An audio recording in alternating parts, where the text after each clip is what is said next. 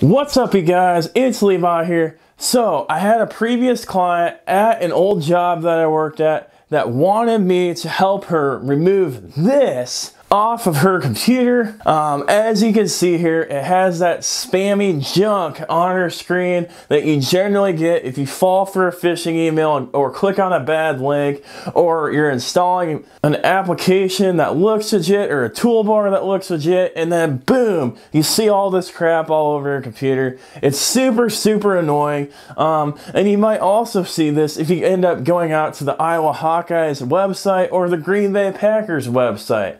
All right, that might be a lie. Anyway, I thought um, instead of contacting her directly and helping her remove this malware off of her system, why not create a video on YouTube that not only helps her, but helps millions of the people on the interwebs out there? And this would save her and you all from having this junk on your computer and it might save you all from having to pay an IT professional to take that junk off your computer. So that day is today. That video is here right now. And today I'm going to be teaching you guys how to destroy malware in 2020 using Malwarebytes. I'm going to teach you guys how to get and install Malwarebytes. I'm going to teach you guys how to run the scans using Malwarebytes. I'm going to teach you guys how to remove that malware after you run the scans in Malwarebytes. And then most importantly, I'm going to give you guys a peace of mind after you remove that malware off your machine so you guys can get some clarity in your head so that you're able to smash that like button for the YouTube algorithm. So I hope you guys enjoyed this content. If you guys have any questions at all, feel free to leave them down below in the comments and let's go ahead and slide into that tutorial. All right, welcome to the tutorial. All right, so the first thing that you guys are going to want to do is you're going to want to go to malwarebytes.com. I'll post a link down below in the description. Um, if you guys want to click on it on that through there. Um, and then once you're on malwarebytes.com, um, there's a free download option. There's also some paid versions. Um, the free version is good enough for what you need here, but I'll show you the paid options anyway and kind of explain them.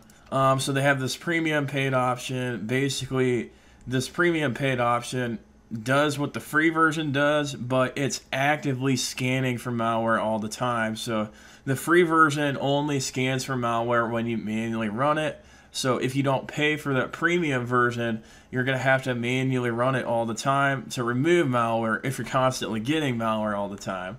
Um, otherwise, this this will run in the background and it it will automatically remove it. It's almost like an antivirus. It's just anti-malware instead.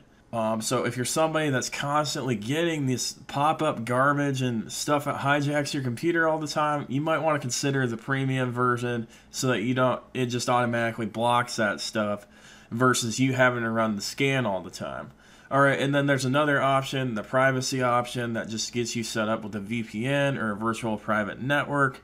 Um, and then there's an option that combines both that premium option and that virtual private network option. But for now, we're just going to go ahead and use the free version. It's up to you if you want to use the premium version or not. So we'll go back here and we'll click on the free download button. Um, it kind of explains some more on, on what you need to download. So once we went inside of here, it already downloaded. So we're going to go ahead and, and open up that installer. Um, and then you'll either have a user account control screen like this, or you'll have um, a pop-up that just says yes and, and wants you to go and do it. So either type in your username and password or just type hit that yes button. All right, so then this is a screen that comes up after you type in your username and password and hit yes, or if you just hit the yes button. Um, obviously, we want to do this on a personal computer. Um, and then you get this screen that comes up. Just click the install button. And then after you're done installing, you get this that comes up.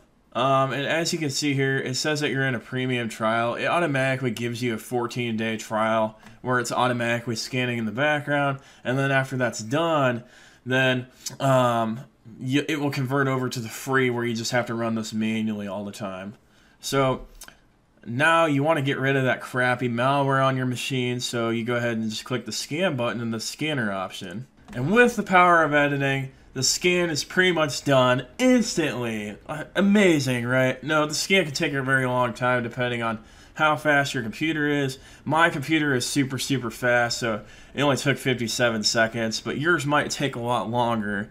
Um, but anyway, even the cybersecurity expert can get malware on his machine. I don't think this is actually legit malware, but hey, it picked it up, so I'm glad that it did. So I have I have something to show you guys on how to remove it. So basically, you'll get a list inside of this menu of various things.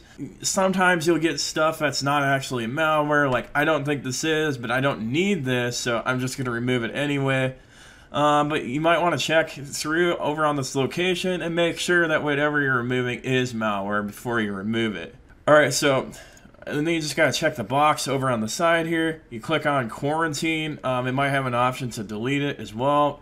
So I'll click on quarantine and that will get rid of the threat. And then you just click done and your malware should be gone. Um, it might prompt you to restart, so you might have to go ahead and restart, and then once you get back in, your malware will be gone. It just really depends on the grade of malware that you have on your machine.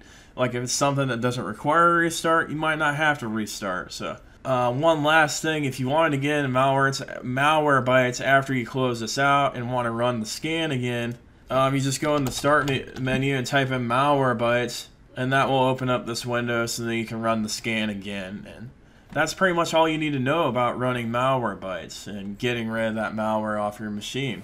Alright, so I hope you guys found this tutorial to be super useful for you guys. Unfortunately, Malwarebytes does not work 100% of the time. There's nothing that always works 100% of the time. Um, but I've found it to work the majority of the time. But there's some strains of malware that are just so good that this tool cannot uninstall them. Sometimes you might have to use multiple tools to uninstall them, or you might have to clean off your computer and completely reinstall Windows.